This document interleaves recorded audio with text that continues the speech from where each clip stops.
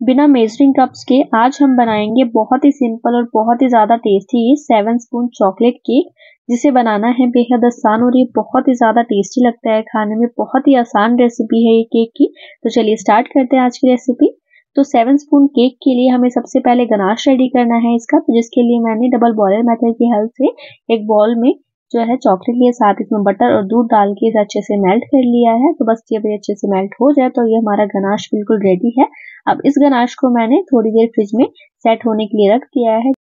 तो चलिए जब तक ये सेट होता है फ्रिज में, हम अपना जो है बैटर रेडी करेंगे केक के लिए, जिसके लिए मैंने एक बॉल में सात चम्मच दही डाला है।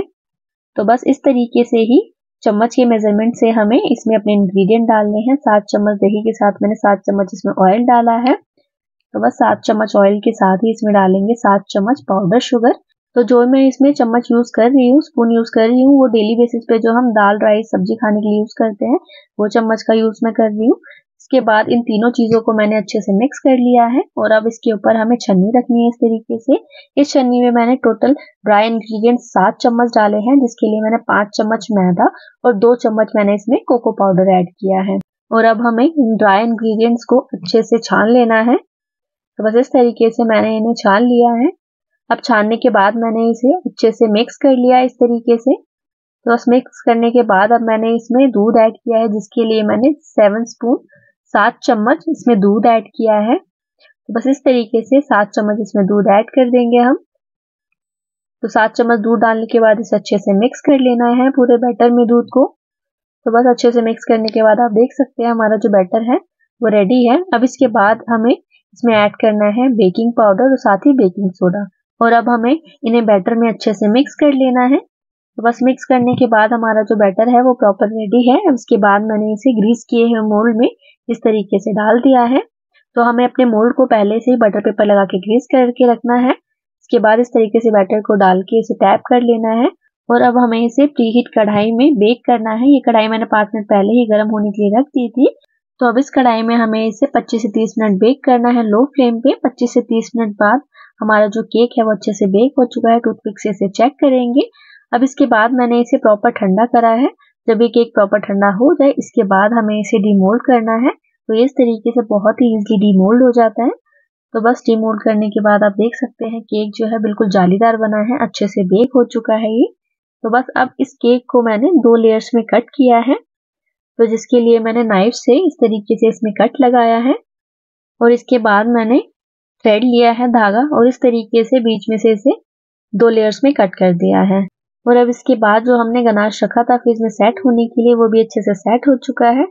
तो एक बार मैं चम्मच से इसे अच्छे से मिक्स कर लूँगी इस तरीके से ताकि ये थोड़ा सा स्मूथ हो जाए।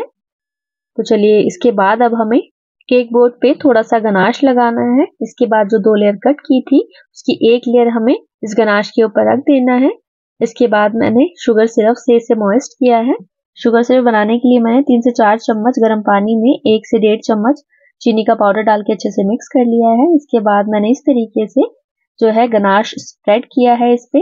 मैंने पाइपिंग बैग में गनाश को फिल कर लिया था। इसके बाद इस तरीके से जो है केक के एक लेयर पे हमें स्प्रेड करना है। इसके बाद हमें केक की दूसरी लेयर रखनी है। इसे भी हमें शुगर सिरप से अच्छे से मोइस्ट करना है।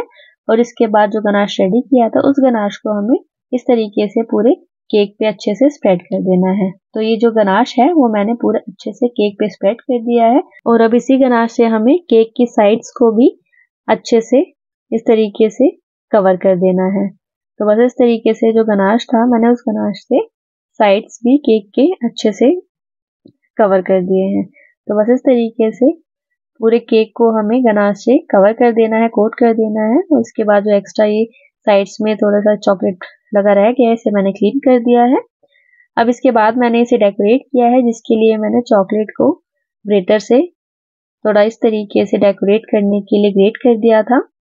और अब इसके बाद मैंने थोड़े से चोको चिप से, इसे साइड से इस तरीके से डेकोरेट किया है। तो इस तरीके से मैंने पूरे केक की साइड्स को चोको चिप से डेकोरेट कर दिया है। और अब इसके बाद मैंने इसके ऊपर ये स्ट्रॉबेरी से इसे ऊपर डेकोरेट कर दिया है इस तरीके से।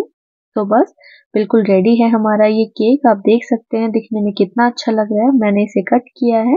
कट करने के बाद इसे करेंगे हम ऑब्ज़र्व तो बहुत ही सिंपल और टेस्टी बनता है ये सेवन स्पून चॉकलेट केक खाने में बहुत ही ज़्यादा टेस्टी लगता है। तो अगर आपको ये सिंपल सी चॉकलेट केक की रेसिपी पसंद आए तो एक बार घर पर ज़रूर ट्राई कीजिएगा।